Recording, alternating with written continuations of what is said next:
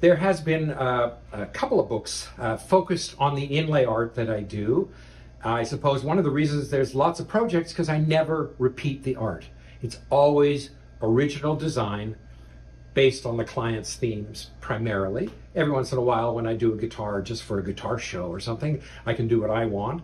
Um, and the most recent one was Grand Complications 50 Guitars and 50 Stories.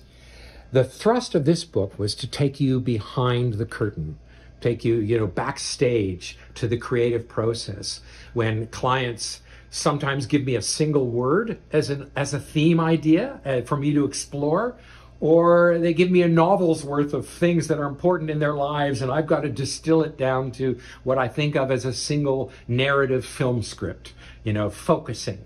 And and what can we include? and a lot of conversations happen, preparatory photographs, research, hire models, whatever is needed for the project. And in this book, I take you behind the scenes and give you the stories of how I started with the concept and figured my out my way and sometimes struggled. You know, I couldn't figure out what am I going to do here? That's just not working for me. Ah, and then when an idea hits, and I tried to describe even how I got to those successful ideas as well as, of course, show you lots of gorgeous color pictures of the inlay. And in fact, why don't I just open it randomly to a page or two and show you some things of what you see in the book. You know, oh, here, I'll flip another page just for fun. I don't even know where we're going. Oh, all kinds of stuff. And you'll read about what was behind all these designs.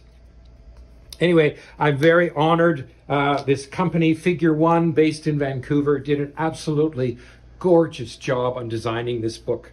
And a wonderful, clever thing they did when you're reading the stories at the bottom, there's two page numbers. One that shows you where the color images are, and, and when you're looking at the color images, it shows you where the description is. So you can flip back and forth easily uh, without, you know, sort of getting mixed up. Anyway, just very clever as well as beautiful and classy design.